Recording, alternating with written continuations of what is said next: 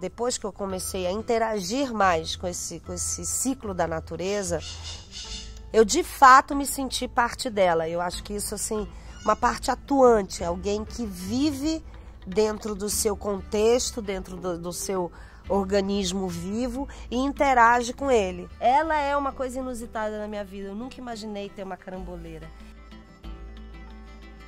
Num primeiro momento que eu tinha me apaixonado pelas árvores, mas as árvores elas têm como a natureza o seu ciclo. Então, a queda das folhas tem um momento que é, tem um folharal que cai no terreno. Então, eu tenho um triturador de folhas que eu aproveito as próprias folhas e os pequenos galhos para serem os futuros adubos. E eu acho que agora a gente vive um momento de começar a pensar e entender o que é sustentabilidade. A gente ouve a palavra, mas agora a gente já está compreendendo o que é a palavra e que sem essa palavra a gente não vai conseguir, como cidadania, viver mais muito tempo sobre o planeta Terra. Eu não tinha conhecimento de tudo, mas eu fiz a captação da água da chuva, eu fiz o a, a aquecimento da água através da energia solar, eu fiz fossa, filtro e sumidouro, que são para os dejetos. Fiz horta orgânica. E tem aqui um processo de você aproveitar tudo que é orgânico para a própria terra. Eu tenho um pomar, né? Coqueiro, mangueira, abacateiro, caramboleira, jaqueira, pitangueira, acerola, cupuaçu, goiaba, araçá, banana, graviola Esqueci. Acho que é isso. As bananeiras, mangueira. Esqueci da jabuticabeira naquela hora, gente.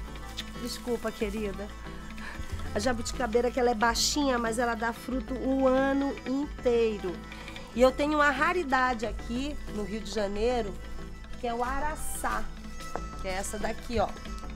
É um araçazeiro, que para quem não conhece é uma goiaba que ela é branquinha e mole por dentro. Ela é doce, doce, doce, doce. E eu amo essa árvore.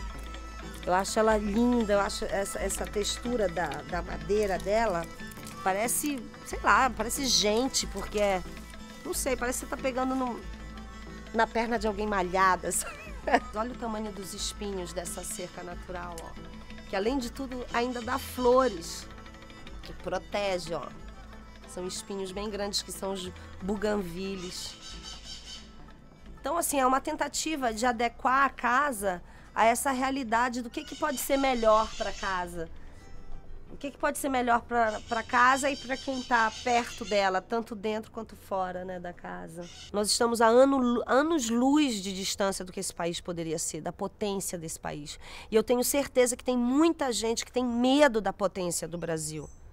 Porque o Brasil o dia que nós não tivermos crianças fora da escola, quando nós não tivermos analfabetos, quando nós tivermos pessoas que vão ter segurança de saúde, segurança pública, nós vamos estar construindo cidadãos altamente capazes de gerir e de promover grandes transformações.